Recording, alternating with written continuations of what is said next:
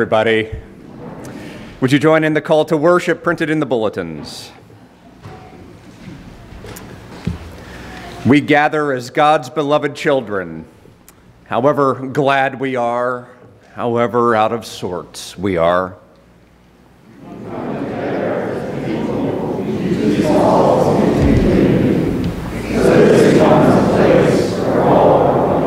We have come to give thanks, to pray, and to sing, to be with each other. Let us worship God. And now, would you join me in prayer? God, you have been our rock and our refuge, our dwelling place in all generations. We give you thanks for your sheltering care for your nurturing and protective embrace in our lives.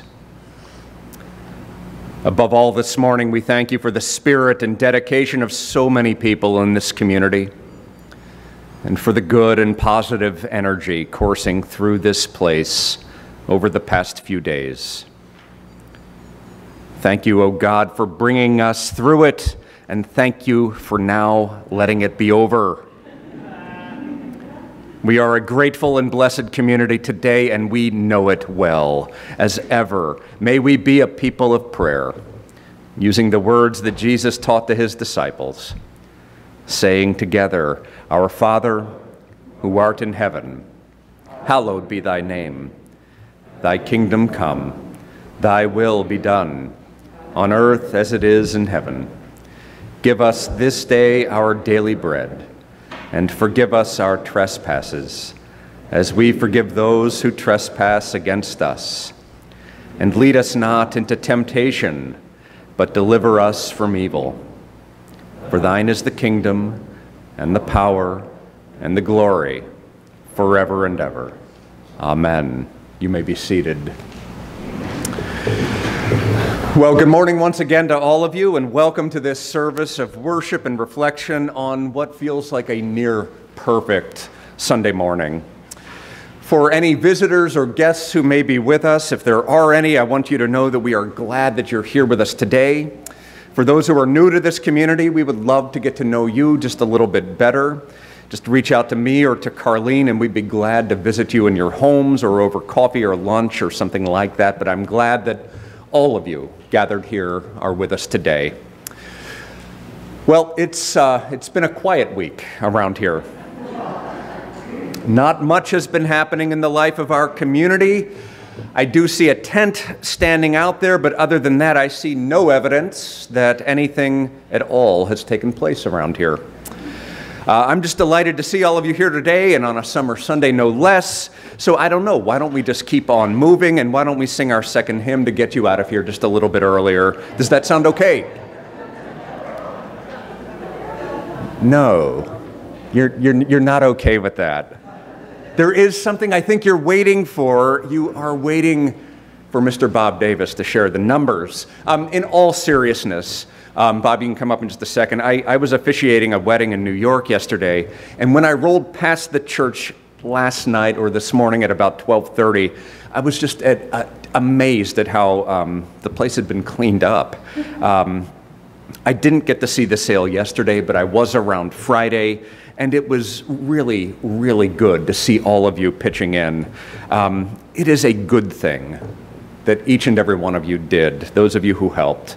After three years, it felt so nice to be able to host such a blockbuster event. Now, I'll say more a little bit later, but Bob has the real report, the real stuff that you've been waiting for. But thank you to all of you for the work that you put into this event. And now, for the suspenseful. Okay, well, I'll tell you, it was a great sale. We had great weather, and I thought the crowds were the largest, and uh, I actually filmed them going all the way around. There wasn't any gap at all, just waiting for that church bell at 9 o'clock. Unfortunately, the church bells weren't working, so we had to use a boat horn. we had to fire off a boat horn and our, and our cell phone to make sure there was a 9. Um, Channel 8 came, and they were interviewing me and a few other uh, customers. Uh, hopefully they'll put that out on the internet and we can link it out to the website so you can see it. Um, and, but all of this, and I would say it was one of the best sales ever, in spite of COVID and the talk of recession. Um, thanks to everybody that helped, of course, and especially the department heads that ran their little areas perfectly, and to the executive board that uh, helps make my job easier. On the COVID front, we had no outbreaks at all during intake or sale day, and we passed out 1,500 masks at all the entrances, and nobody seemed to, compare, to complain at that. Um, however, 36 hours before the sale, I get a call from Allison saying her husband will not be able to run the food department. So now I had this headache, 36 hours, because food is so important. Um, so I called the Petersons, who were in retirement, and they came out and with the chapel, and Allison buying the food, everything went off all right. So uh, uh, kudos to those, to those folks there. Um, Henry May asked me to say a few little stories that I pick up along the way, so I'll just take two minutes. Um, lessons learned, location, location, location. Uh, I brought back a whole bunch of um, uh, golf carts from Christ the King. I couldn't sell them in September. They were gone in 15 minutes on Friday. So it depends on time and location. And they were all like $40 each, and they just went like that. Um, Luxury had been trying to sell these tattered dolls from the 1900s for three years. Couldn't get a bite on eBay or anything. We moved them to small furniture, who can sell anything, and they sold them for $200. So uh, it just depends on where you, where you put the products. Um, the best sales award goes to Carson. Um, out there in plants, she had two buyers bidding on some vase that nobody wanted apparently, but it was $10. And so rather than having them fight, she held a little impromptu auction and she gained it, and she gained $100 out of the sale. So. Next year, next year, Carson, I'm thinking of selling the red uh, posters. I think we can get $5 a piece for them as a souvenir. So, but that's my idea, not yours. Uh, the funniest incident, again, goes to Carson. Many of you probably heard it. She was uh, unpacking some uh, old plants and pots and stuff, and a mouse ran out, but it ran up her bell-bottom pants. So up the leg it went, and she's trying to apply the tourniquet method to shut it off. Meanwhile, Carlene's over here blocking it in case there was going to have to be more serious actions taken. But the mouse finally turned around and headed for a crack in the foundation. So he's out there waiting for the fair. Um, on the payback front, uh, my typical day sounds like this. Bob, I'm missing shelves and table. Bob, have you seen Mark? Bob, we need more garbage bags. Bob, has anyone seen Mark? Bob, should we accept this item? Bob, I can't find Mark. And on Friday, I finally sit down to eat a hot dog, and somebody comes over and says, Bob, there's no toilet paper in the porta potties. So finally, I got to say, Where is Mark? so uh, we'll have to think more about that next year. So, um, anyways, here are the figures that um, these are rounded figures. We need the bank to verify them, but based on the envelope counts, it was the second best day we've ever done we had $91,285 taken in.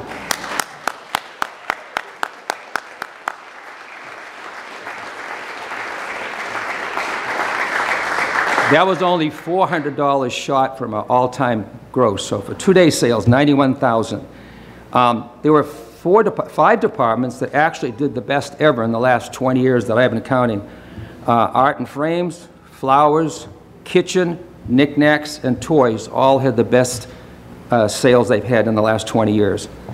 Um, the top department was the women's, of course. Uh, there were 14,264. The artworks was $9,200, really, uh, and luxury was 8,000. Um, the biggest increases, which is really kind of interesting to watch, flowers was up 67% from the prior sale. It's over $3,000, so you sold $3,000 more. Art and frames was up almost $3,000 more, and toys was up 27%. So all in all, it was a great sale. Everybody's uh, department did what they did. They, I think most of our stuff was gone, so we didn't really have a lot to salvage. So appreciate everything. It'll be next week, next year. I'm not sure the exact date because July 4th is on a Tuesday. It gets in the middle of the week, it gets a little touchy. But thanks to everybody. It was a great sale. I look forward to it, and uh, we'll get the numbers out uh, when we get them all finalized.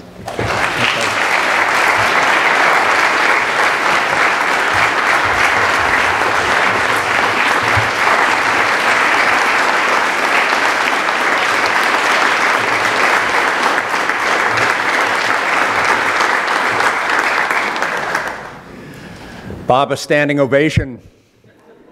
That's a special thing. That's an amazing thing. Um, I do want to thank you publicly for all of the work that you do leading up to the sale uh, and then during the sale as well. It is an amazing accomplishment that you pull off every single year, excepting COVID, and it is an invaluable service that you deliver to this community. So thank you. I hope you know how grateful all of us are.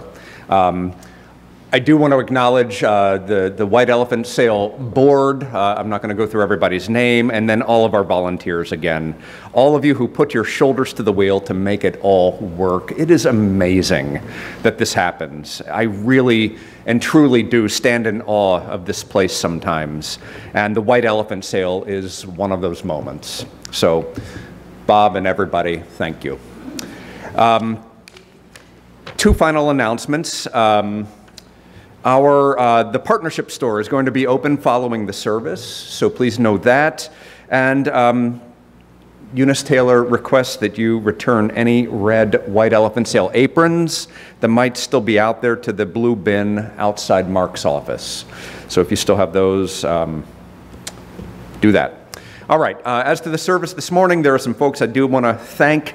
First and foremost, um, I'm grateful to the choir for all of you being here today, for the summer sing that brings an extra bit of life to the service, so it's great to have all of you here today. Uh, our deacons on duty today are Mary Bradford and Ellen Calkins. Our ushers are Ted Crosby and Dave Roberts, and perhaps Mary and Ellen as well. Uh, the fellowship hour is being hosted by Julie Martell. Thank you, Julie. And I hope you'll all stay and visit uh, outside on the lawn after the service today.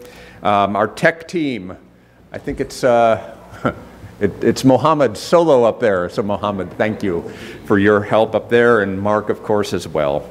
But uh, finally, once again, to each and every one of you here today, I'll say it um, as simply as I can. You're awesome. Thank you. It's good to be together in this place. Let's rise and join to sing hymn number 89, Like a Mother Who Has Borne Us.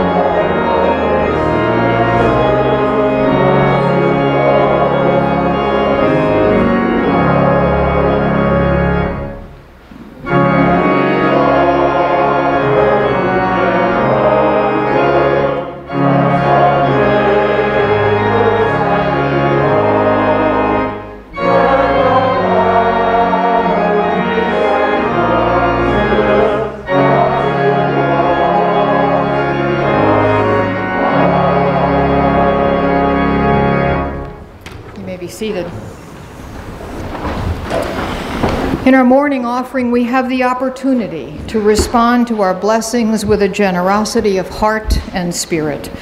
The morning offering will now be received.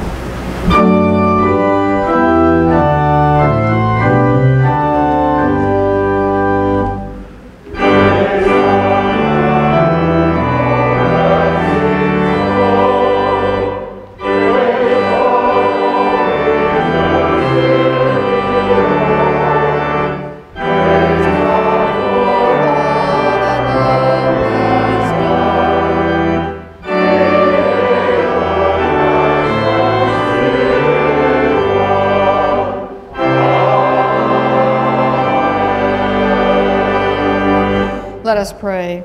Gentle and merciful God, take all that we have given and help us to do all that can be done to heal the world and restore her people. This we pray in the name of thy Son, Jesus the Christ. Amen. You may be seated.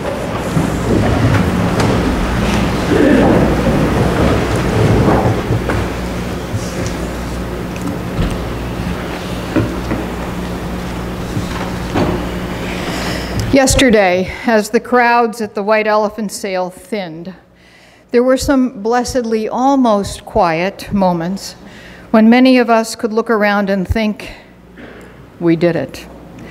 We did this difficult and exhausting thing called the White Elephant Sale once again after a two year hiatus. And just as I was thinking that, a woman came up to me. I didn't know her. And she said, Thank you for all you've done here. I've spent more than two years isolated and alone, but here I felt like I came back to a time when people were happy and generous and appreciated being together. I found some great bargains which made me happy, but most of all, I'm happy that I feel like I can breathe again and that the world just might return to being kind. And I thank this church for that. It's a true story. Now, I know that there were inevitable tense moments for many of us in these past days, but it's her testimony that I will hang on to. We did it, and we made a good many people grateful. Would you join me in prayer?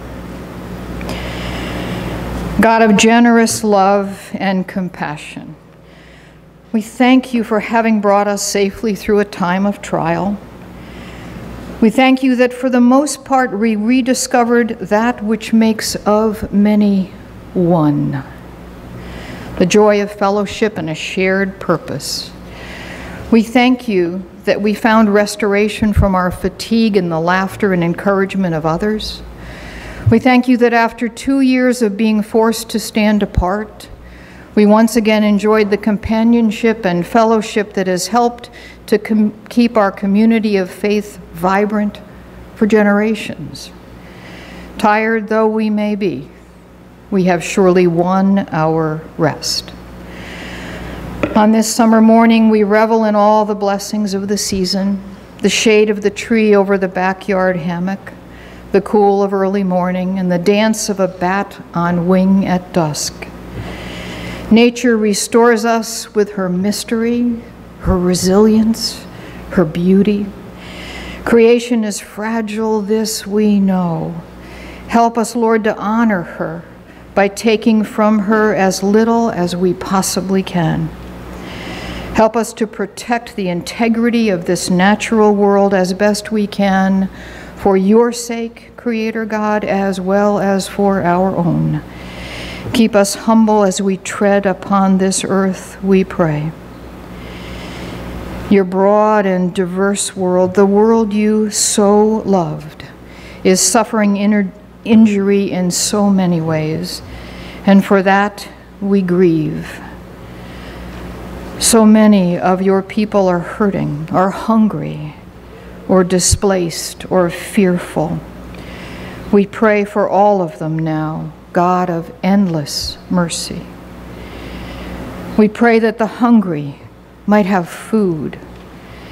We pray that orphans might know the comfort of love. We pray that those who live in the shadow of violence might know peace. We pray that the leaders of this world might come to honor even the least of your children for children are, each one of them, precious in your sight. And they are the foundation of the future we all share. They are your beloved. We pray that hearts that have grown hardened might be graced with a rekindling of compassion for others. We pray that generosity might flourish and that mercy could somehow be abundant. We pray that this world you so loved might heal through an awakening of brotherhood and sisterhood that does truly make of many one. In the days to come, grant that we might, each one of us, know the blessings of your Spirit within us, that we might be more generous, more merciful, more forgiving toward others. As we seek to understand the world around us, grant us a measure of your vision and your courage and your strength, that we might be peacemakers in a world where violence seems to flourish. In the days to come, we pray that we might be more and more like Jesus the Christ, finding within ourselves the humility and grace, the courage and resilience we understand Him to have had in abundance. Let it be that because we live in His way, the world might be a better place. All this we pray in His name. Amen.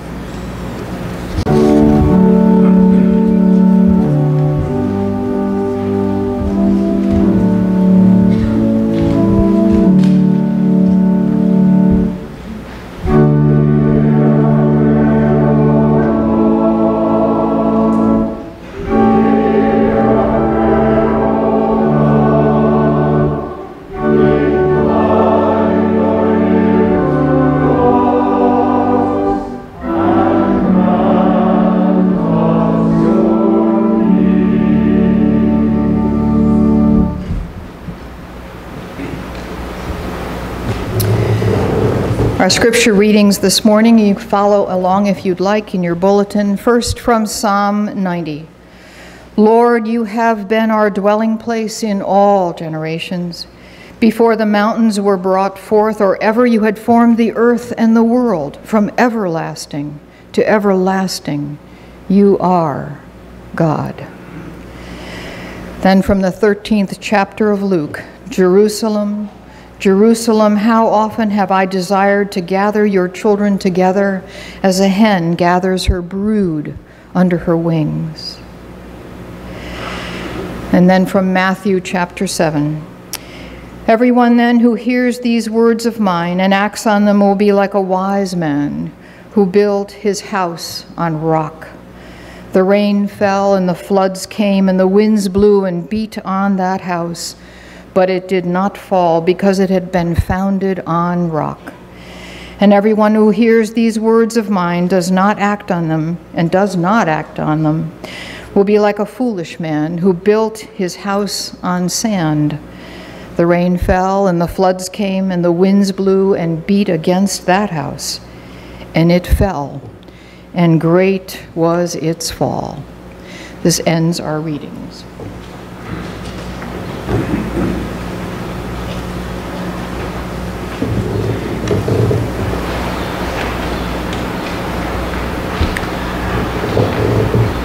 I was reminded of a story this week that I'd like to share with you. Nine years ago, our family had just moved into the parsonage when the white elephant sale came around. And I had heard a frightful story about a former associate minister who, for whatever reason, was moving into or out of the parsonage around the time of the sale. And she had all of her stuff hauled over to the church and sold in the sale which in truth, like you, I thought was kind of hilarious when I heard it. And at the time, I remember standing up here in the pulpit and pleading with all of you don't sell our stuff. We had moved from a house that was pretty tiny in New Haven. We had about four walls, and that's all. And we didn't arrive here with all that much. But here's the difference that nine years makes. These days, I'm standing up here pleading with you take our stuff. we leave our door unlocked. Just take it. We'll be happy to see it go. We're good.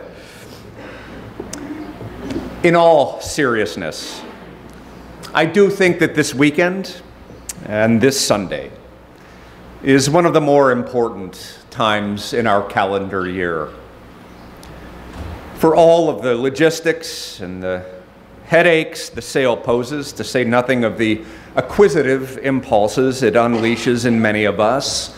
I'm not exempted. The sale is, I think, a very wonderful thing in the life of this community. For those working the sale, it brings all of you together for the sake of a common project, which, given the fragmentation and the isolation that we've experienced, I think we all desperately need. For those who came to shop, it provides the thrill of a treasure hunt, for you never know what might turn up. But beyond those things, as I walked around on Friday morning, what I felt was the sheer pleasure of the scene the donuts and the coffee, the hot dogs and the sausages that, believe it or not, some people were consuming for breakfast, the baked goods. But more than anything, what I loved seeing and experiencing were people just sitting or standing around and visiting with one another. I think that is the true gift that this church gives to the wider community. And I also think it represents the best of who we are as a community, creating this space of celebration and pleasure through dedication and support and a tireless work ethic. It is a true gift that all of you give. What I would like to do today is to focus in on that, but really some other ways that the supportive and dedicated nature of this community has been exemplified. And to get at that, I'd like to use some exalted language, words of a poet. They go like this Twas in another lifetime, one of toil and blood, when blackness was a virtue and the road was full of mud I came in from the wilderness, a creature void of form. Come in, she said. I'll give you shelter from the storm. These are words from Bob Dylan. Not long ago, I heard a story that captures something of those qualities and something of the nature of this community. It was the year 1968 when it seemed to many people that the world was falling apart around them. And for one family in town, the world did fall apart. Their world crumbled. The father of this large family just picked up and left, leaving behind a wife and a house full of kids ranging in age from high school to elementary school. This truly happened here and he would never thereafter be a part of their lives. Those left behind in that family to pick up the pieces were devastated. But the loss was compounded by the reactions of many who lived around them.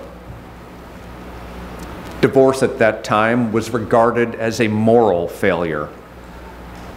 And so many of those who had once been friendly ceased, ceased to return calls, stopped saying hello in the market and told their children not to mix with that family whose lives have been upended.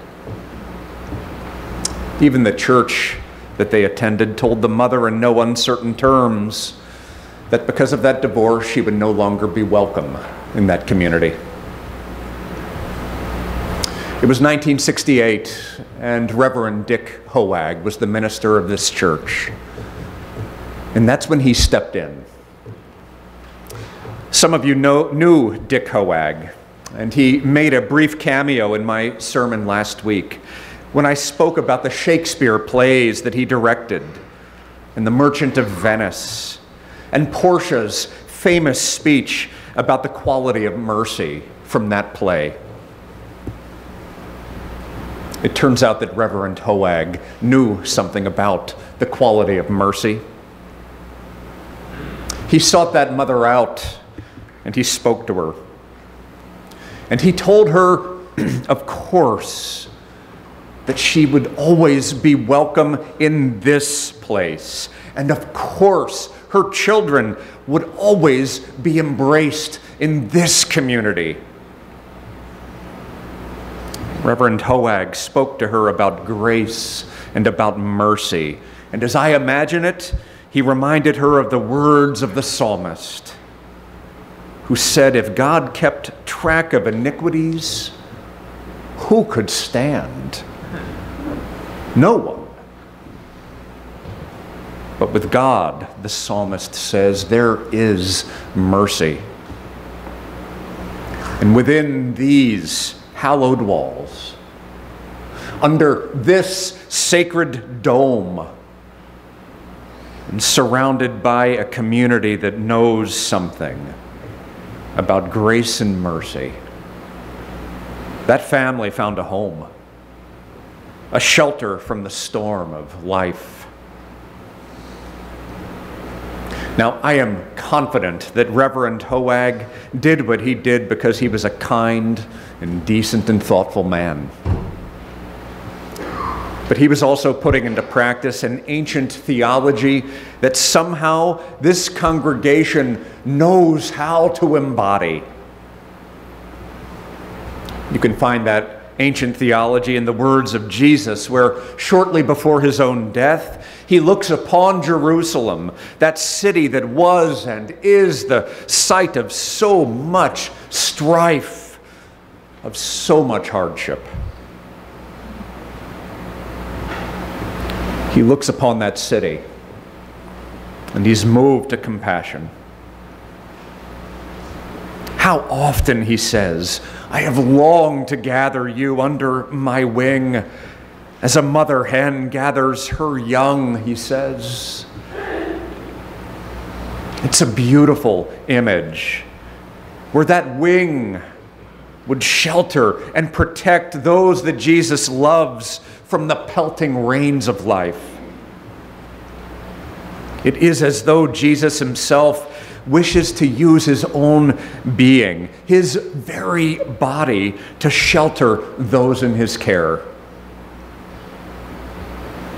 It is as though, with his very body, God in Jesus offers a protective curve, a kind of dome under which people everywhere might gather when the storms of life kick up.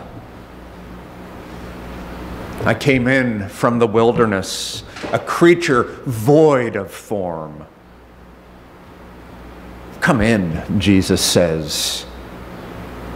I'll give you shelter from the storm.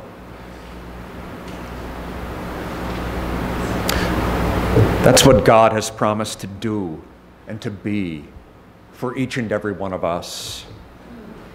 Providing and becoming a shelter from the storms of life. And we do, from time to time, face various storms.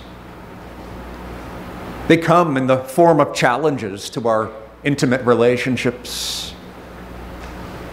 They come in the form of national and international events in which we happen to be swept up independent of our own intentions.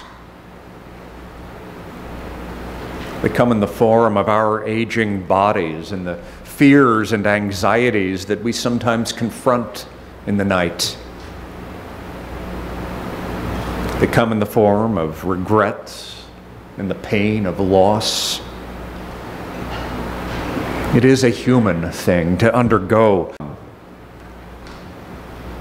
In Jesus, we glimpse the spiritual presence that relentlessly seeks us out and that does come to find us, especially when we require that particular care, when we're exposed to the rains with our unhoused heads.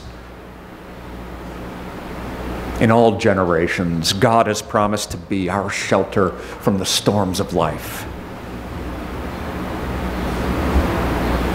That's precisely what a church is meant to be as well. We're intended to be a people who demonstrate the curved wing of God's care in our treatment of one another.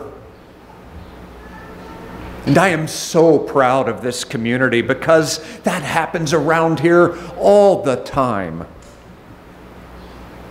Certainly, it happens in our big endeavors, like when we provide sanctuary or when we resettle refugees. And certainly, it happens in other big events like the White Elephant Sale. I believe that the real work of the sale isn't actually in the setup or the breakdown or the intake, although that certainly requires real and very difficult work. I happen to believe that the real work is in the interactions that people share with one another while they're doing those other things, pricing and sorting and unloading. The real work is in being together as a community, in talking, in ordinary exchanges where we create small but binding shelters for one another, where we say to one another, How are you doing today? What has it been like for you over the past year or two or three? Let me get that for you.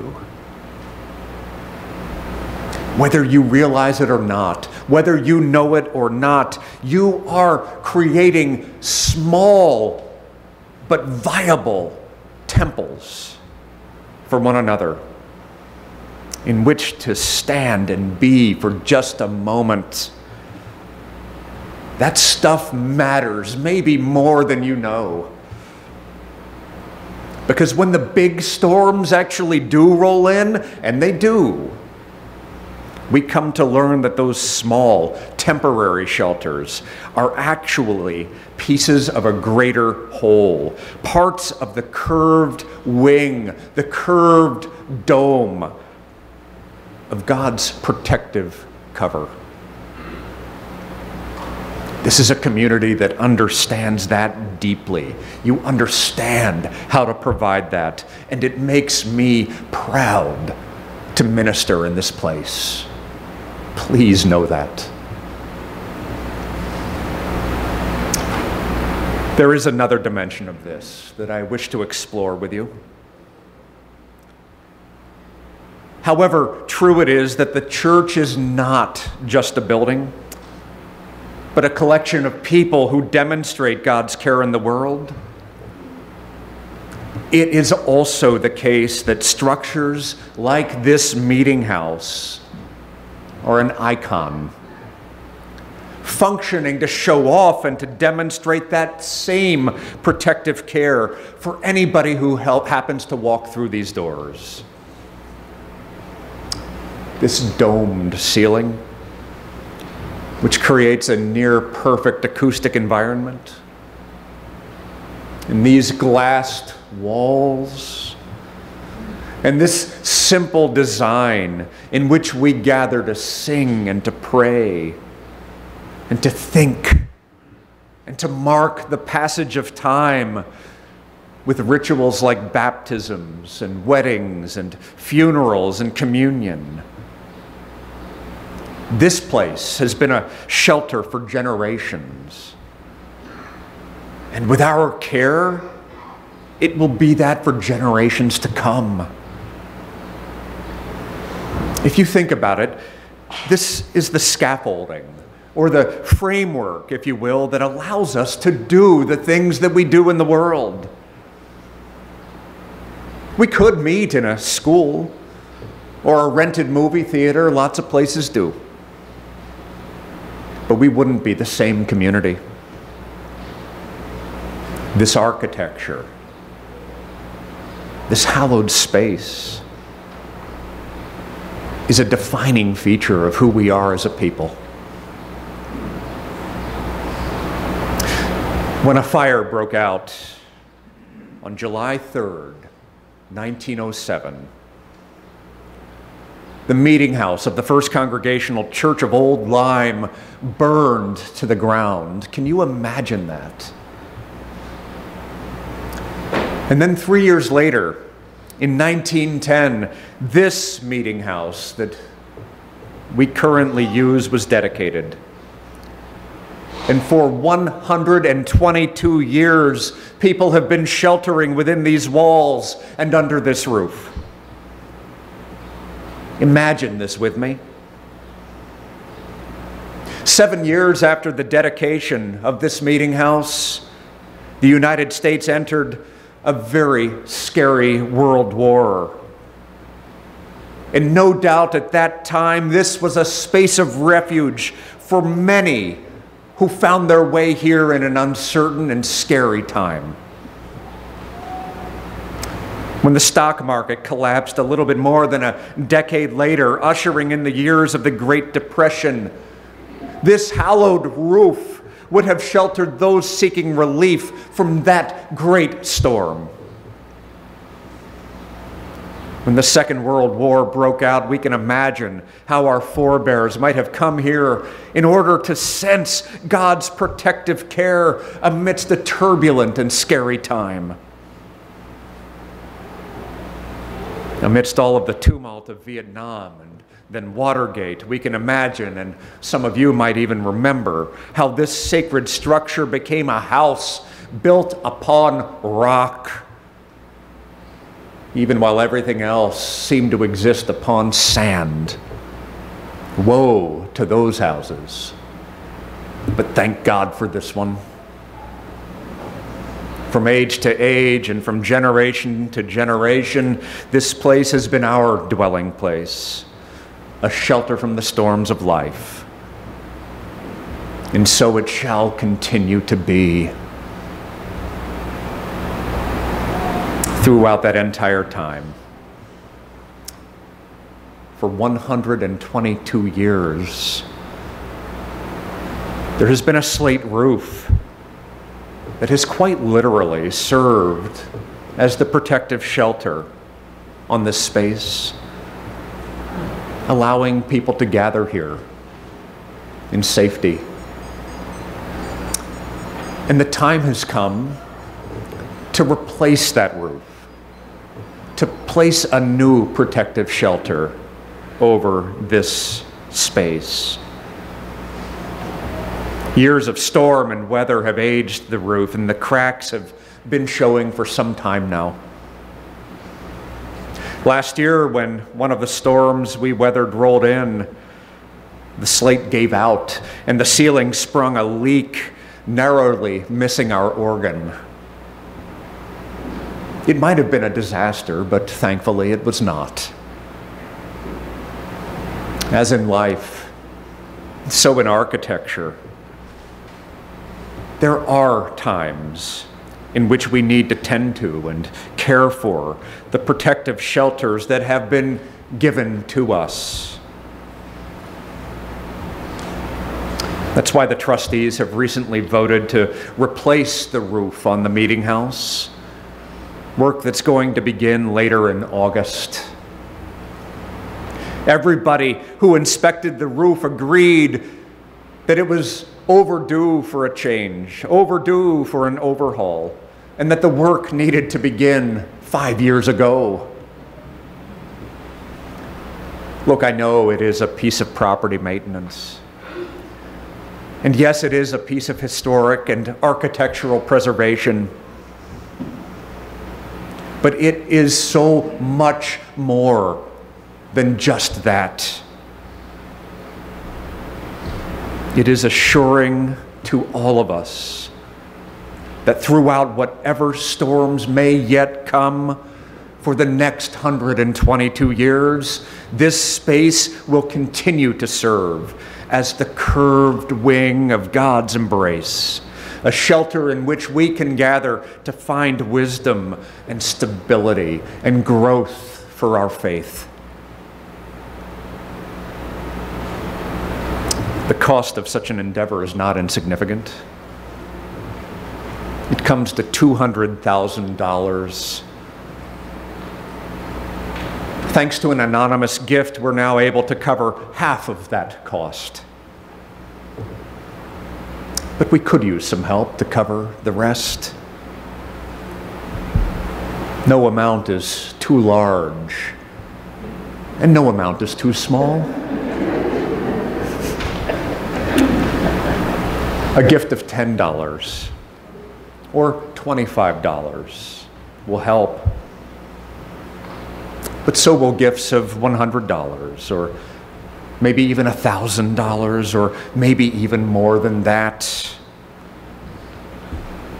Look, I know that times are hard. I know that we're entering a recession perhaps. I know budgets are tight.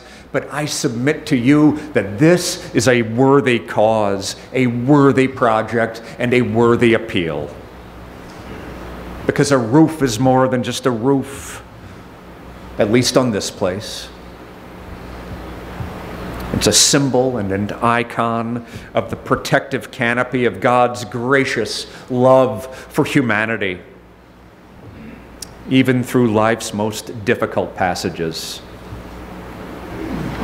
It is literally a shelter from the storms of life.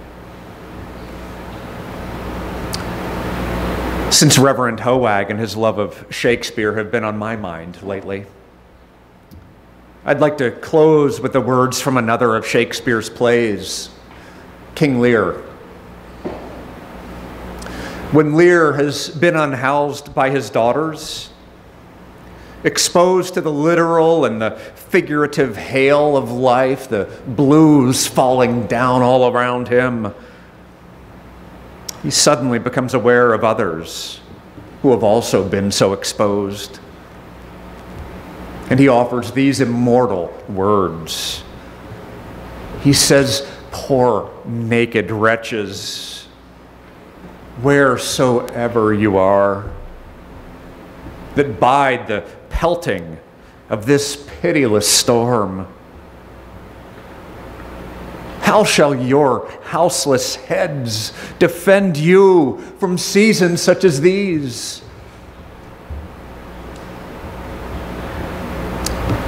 Friends, you and I may be bold enough to answer beneath a roof such as this, within walls such as these, and under the domed and winged embrace of a God who has been and who shall be our shelter from the stormy blast and our eternal home. Rather than using the hymn printed in the bulletin, I'd like us to sing together the old words of Isaac Watts from the 18th century. Our God, our help in ages past, our hope for years to come. Let's rise now and sing hymn number 80.